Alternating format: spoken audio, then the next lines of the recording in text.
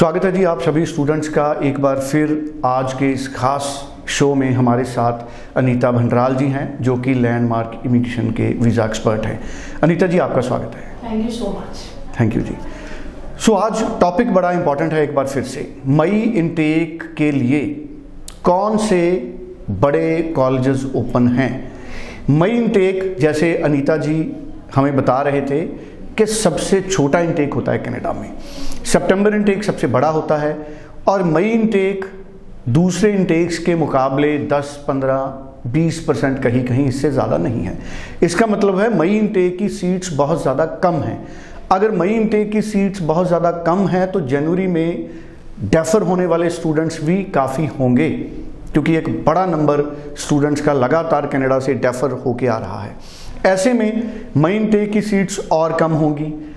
अब क्या मई इनटेक के लिए इमीडिएट अप्लाई करना ज़रूरी है? या आप जनवरी इनटेक के बिल्कुल पास आके मई इनटेक अप्लाई करेंगे? अगर ऐसा करेंगे तो बड़ी संभावना है कि आपको मई इनटेक में भी ऑफ़र लेटर ना मिले। लेकिन हम प्रेजेंट की बात करेंगे, अभी मई इनटेक का क्या सिचुएशन है ऑफ़र लेटर्स कितने दिनों में आ रही हैं, क्या अच्छे कोर्सेज अवेलेबल हैं जो स्टूडेंट की वेरिएबल एजुकेशन के हिसाब से उनको सूट करते हों।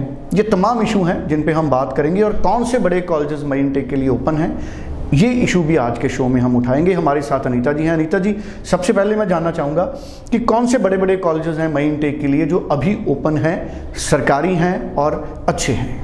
जी हाँ सर अभी अगर हम बात करते हैं पब्लिक कॉलेजेस की तो ओंटारियो में मैक्सिमम सारे कॉलेजेस अवेलेबल हैं मेन टेक के लिए। जैसे Conestoga college is very good college आपका northern college is available Cambrian college में भी सीट्स अवेलेबल हैं। फ्लेमिंग कॉलेज में सीट्स अवेलेबल हैं।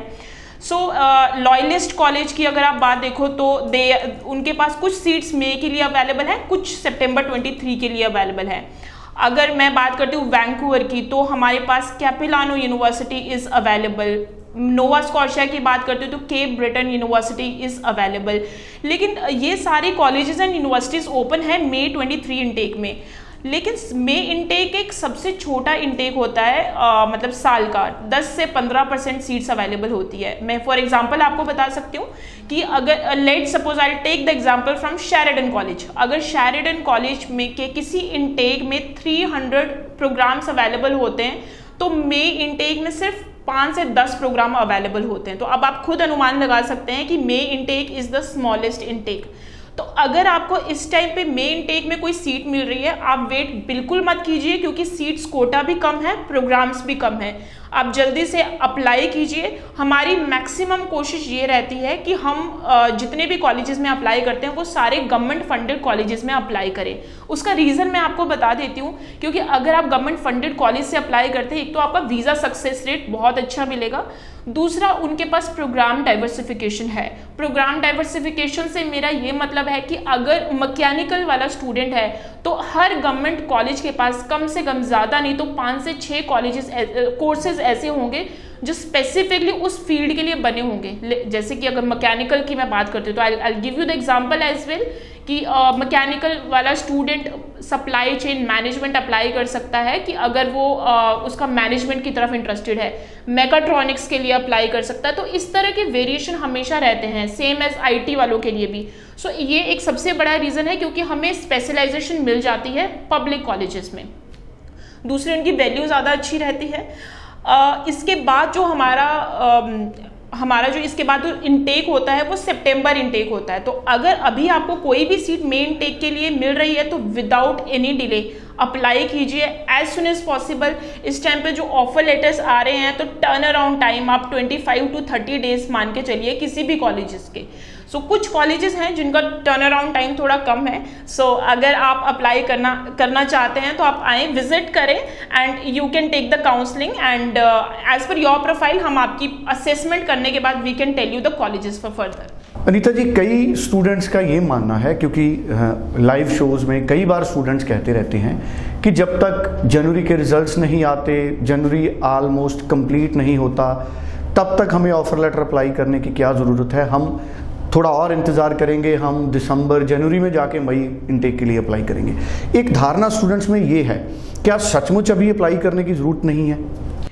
नहीं सर ऐसा बिल्कुल भी नहीं है। आ, इस टाइम पे जो कॉलेजेस हैं स्टूडेंट्स एंड पेरेंट्स मैक्सिमम इस चीज़ से बड़ा कंफ्यूज होते हैं कि हम वेबसाइट पे देख रहे हैं कॉलेज की वेबसाइट में। कोर्स ओपन है तो दैट मीन्स हमारे पास टाइम है। लेकिन अगर वो किसी काउंसलर से या किसी कंसल्टेंट से बात कर रहे हैं तो वो कहता है क्रो जो कोर्स है, वो क्लोज्ड है।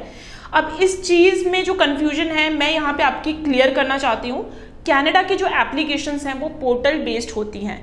यानी कि जो भी एप्लीकेशन है, वो पोर्टल के थ्रू जाएँगी। Websites are not that much updated अगर एक प्रोग्राम है फॉर एन एग्ज़ाम्पल अगर एक प्रोग्राम है international business at Lambton college ये अगर आपको वेबसाइट पे दिखा रहा है ओपन तो हो सकता है ये आपको पोर्टल पे क्लोज दिखाए क्योंकि पोर्टल जो आपका होता है हर मिनट के बाद चेंज होता है क्योंकि उसमें एक एक specific quota of the seats होती हैं। सो so, अगर आप प्लान कर रहे हैं आप डिले बिल्कुल मत कीजिए क्योंकि इन विद इन आवर्स जो ये सीट है घंटों में मिनट्स में ये सीट्स क्लोज होती जाती हैं ठीक है? तो अगर आपका है कि मेन टेक अप्लाई करना है तो जनवरी तक मत वेट कीजिए क्योंकि तब तक कुछ नहीं रहेगा। सो uh, आप अप्लाई कर रहे हो तो आप अभी प्लान करें and you can apply your application हम उस पर बहुत ज़्यादा रिलाई नहीं कर सकते। चलिए thank you so much Anita ji. तो बहुत अच्छी इन्फॉर्मेशन अनीता जी ने भी हमको दी है मई टेक के लिए। तो मुझे लगता है कि सारे स्टूडेंट्स को कई तरह की क्लैरिटीज़ इस शो से हुई होंगी कि क्यों उन्हें कनाडा में मई टेक के लिए भी इमीडिएटली उन्हें अप्लाई करना पड़ेगा, क्योंकि अगर डिले करेंगे तो हो सकता है उनको कोर्सेज ना मिलें।